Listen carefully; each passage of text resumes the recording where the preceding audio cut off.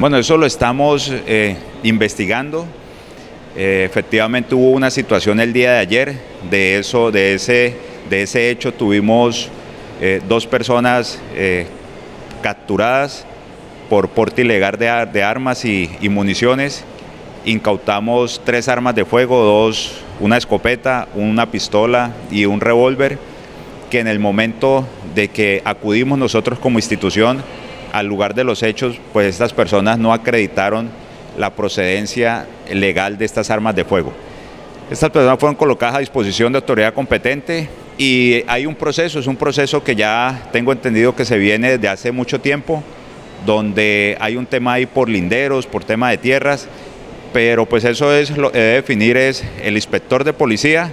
y obviamente como nosotros como policía pues acompañar para que no se presente ninguna situación especial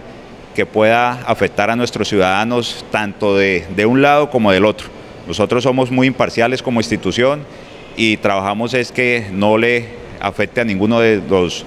de los funcionarios que se encuentran en estos sitios. Nosotros, nosotros digamos que eso no lo, no lo evaluamos nosotros, eh, nosotros lo que, lo que en el momento es que llegamos al lugar que nos solicita a nosotros como policía,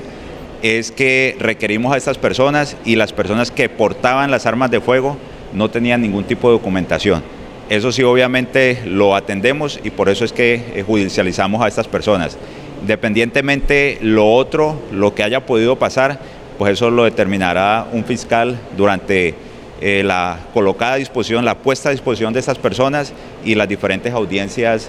de, de las diferentes audiencias que se realizan para formalizar la captura de estas dos personas.